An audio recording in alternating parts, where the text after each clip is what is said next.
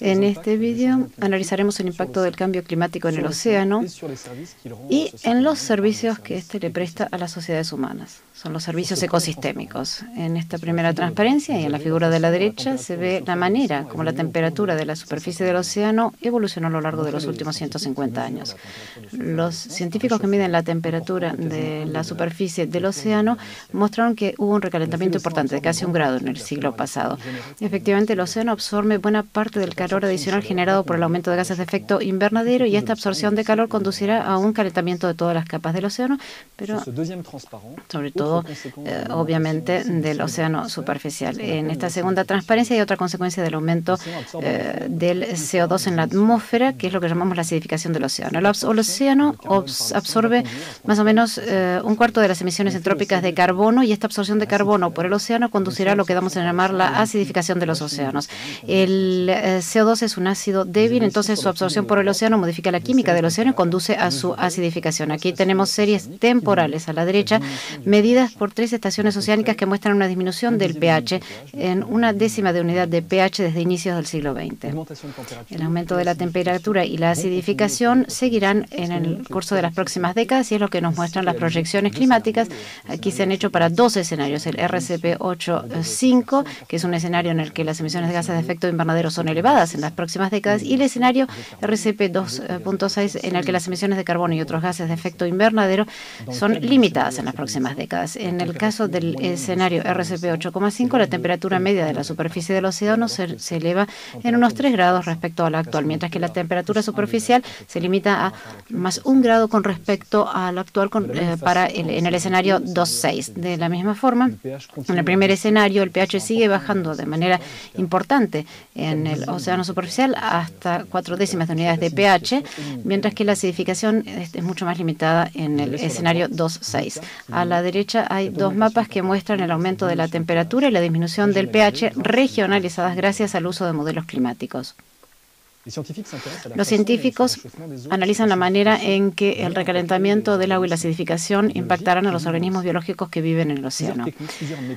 Hay varias técnicas y métodos que permiten probar, eh, poner a prueba la respuesta de estos organismos a la acidificación o al recalentamiento del agua.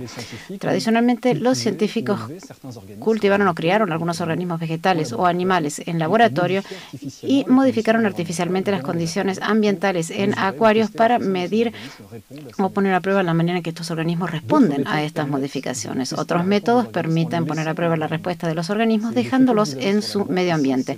Las fotos que vemos aquí a la derecha muestran un dispositivo que se llama FOCE para Free Ocean CO2 Enrichment Experiment que permite modificar las condiciones ambientales, aquí sobre todo el pH del agua, dejando los organismos en su medio ambiente. Otro tipo de métodos que utilizan gradientes naturales de pH o de temperatura eh, contrastados o haciendo eh, reconstrucciones palo-oceanográficas de las condiciones ambientales y eh, de los organismos, su abundancia y sus características, permiten poner de manifiesto los vínculos entre condiciones ambientales, pH, temperatura y la salud de estos organismos empezamos a tener una serie de datos que nos permiten entender y determinar la manera en que estos organismos marinos responden a la acidificación y al calentamiento del agua.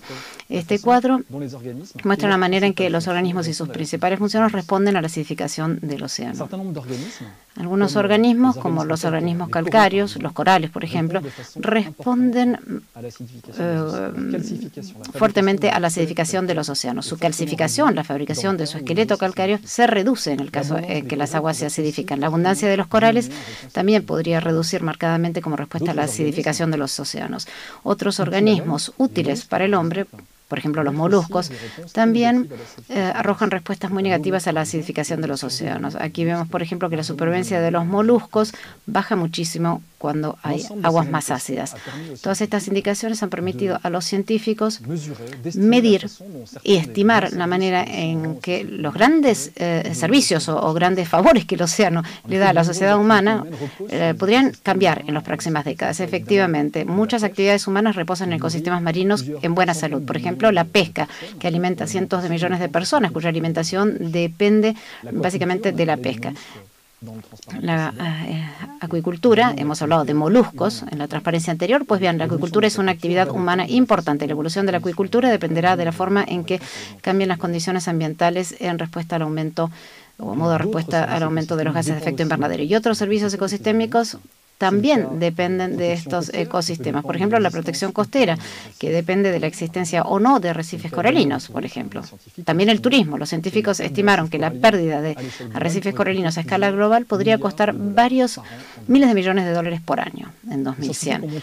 Los científicos demostraron que el impacto del calentamiento y la acidificación ya se habían detectado en algunos casos en algunos de estos servicios o favores. ¿Qué técnicas de adaptación, qué métodos de atenuación podrían permitir limitar estos impactos? Ante todo, por supuesto, Mm, medir los riesgos estimados es muy difícil en el caso de un escenario bajo, el escenario 2,6 y el escenario alto 8,5. Entonces, eh, una atenuación de las emisiones de carbono permitiría limitar estos riesgos y su impacto en los servicios ecosistémicos. En el caso de una modificación del pH o de la temperatura y en algunos casos más regionales, los científicos y los economistas han propuesto métodos de adaptación. Les muestro aquí un ejemplo de adaptación de la acuicultura en la costa oeste de Estados Unidos Oregon, donde las personas que eh, ostras han mostrado que el aumento de la acidez del agua perturbaba la forma eh, de, cultivar las ostras, vigilando el pH del agua de mar, que varía también de forma natural, y en algunos casos desplazando algunas eh, de, estos, de estos acuicultivos permite luchar y adaptarse a la evolución de la acidificación y el cambio climático.